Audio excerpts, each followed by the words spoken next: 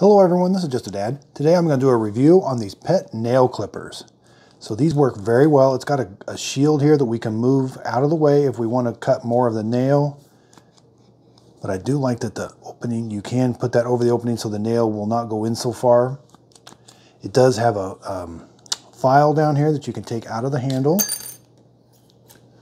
Here's what the file looks like. I like that it's stored in the handle right there. Again, I like that these are all protected. They're very sharp up there. So they do a really good job. They're spring loaded.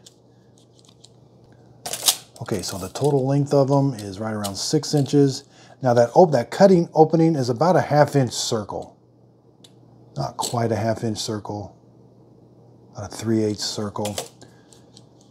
But you can see how it's nice, nice action. I like it, but when you want to store them, you're gonna move this lever up and that way you can store them in the drawer and don't have to worry about anything get into the cutter.